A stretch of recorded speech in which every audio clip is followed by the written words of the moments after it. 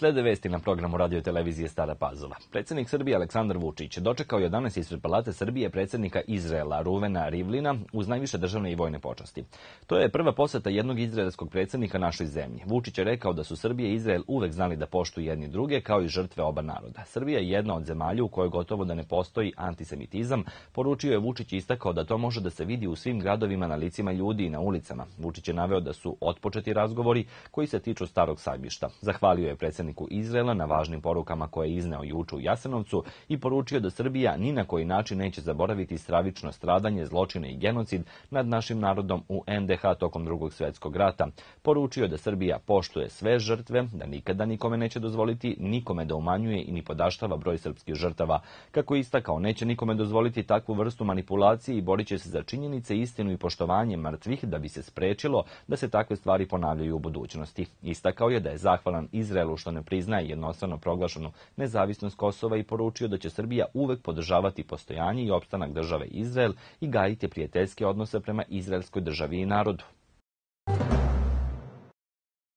Predsednica vlade Srbije Ana Brnabić razgovarala je u Vašingtonu sa direktorkom Međunarodnog monetarnog fonda Kristin Lagarde o saradnji te međunarodne finansijske institucije sa našom zemljom, za koju je rekla da je zemlja za primer, saopštila je vlada Srbije. Ana Brnabić i Kristin Lagarde razgovarale su o novom sporazumu MMF-a i Srbije, koji će se sprovoditi 30 meseci. Aranžman je isključivo savetodavni i ne predviđa korišćenje finansijskih sredstava, što je potvrda dobrih ekonomskih rezultata koje je Srbija do sada postigla i istaknuto je u ovom razgovoru.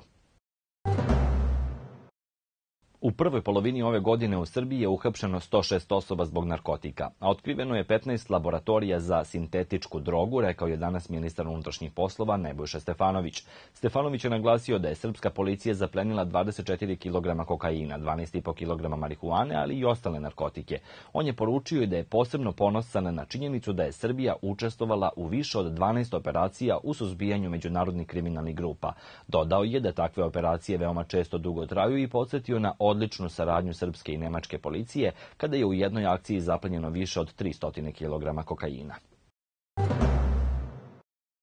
Na teritoriji opštine Stara Pazova postoji 60 bunara koji su u nadležnosti Staropazovačkog javno-komunalnog preduzeća Vodovod i kanalizacija. Ove godine najavljuje se izgradnje novih bunara, zašto je planom nadležnog preduzeća predviđeno oko 10 miliona dinara. U preduzeću ističu da će na teritoriji opštine ove godine biti izgrađena tri nova, te apeluju na racionalniju potrošnju vode.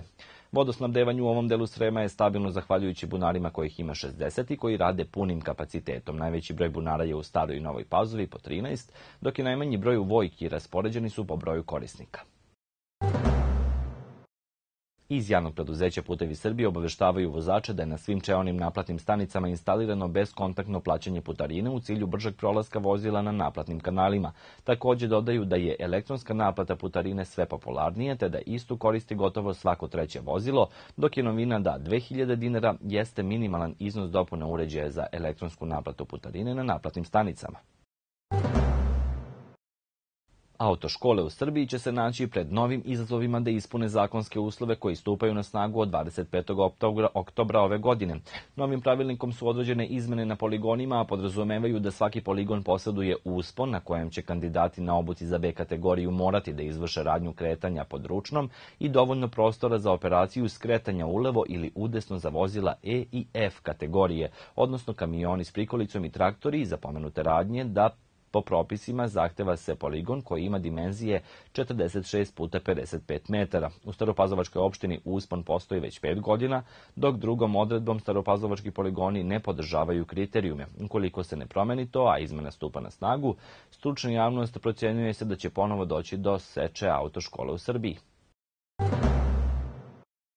Do utorka 7. avgusta raspisan je javni konkurs za dodelu sredstava crkvama i verskim zajednicama koje se nalaze na teritoriji Staropazovačke opštine ili sprovode programe od značaja za ovu opštinu.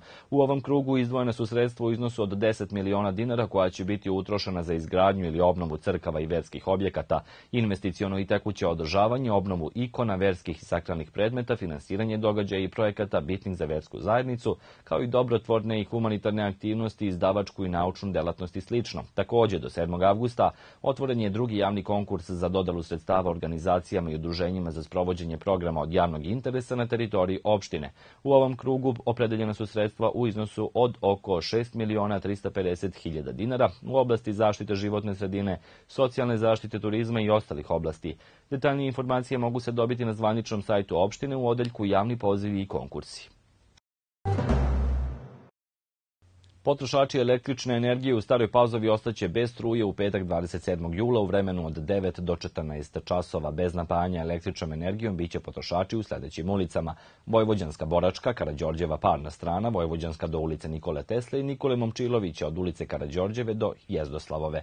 U slučaju loših vremenskih prilika radovi će biti odloženi. Ovogodišnja 11. međunarodna veslačka regata Dunavske avanture u Starim Balovcima traje tri dana i održat će se od 27. do 29. jula. U pitanju je manifestacija koja se nalazi u kalendaru Rafting Saveza Srbije, a uvršena je i u kalendaru Turističke organizacije Srbije. Dolazak regataša očekuje se u petak 27. jula u poslepodnevnim satima, u subotu 28. jula od 9.30 iz Bašte Pustolova do Surduka kreće regata, a u večernjim satima klub ekstremnih sportova Pustolov kao organizator održat će prezentaciju puta u Kinu. Poslednjeg dana regate, regataši će privesti druženje kraju.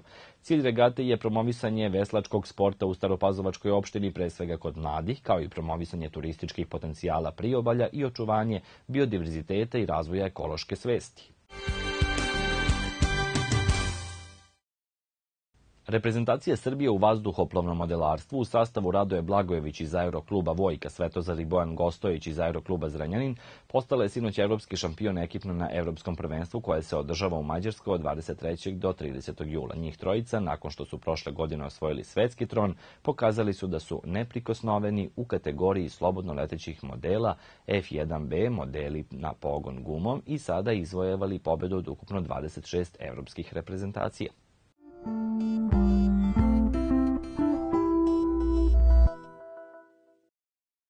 Sutra promenljivo oblačno, nestabilno s lokalnom pojavom kiše, pljuskove i grnjevina, vetar slabiji umane severozapadni, minimalna 20, maksimalna dnevna 29 stepeni. Informacijom o vremenu završavamo vesti. Vama hvala na pažnji i ostanite dalje uz program radio televizije Stara Pazova.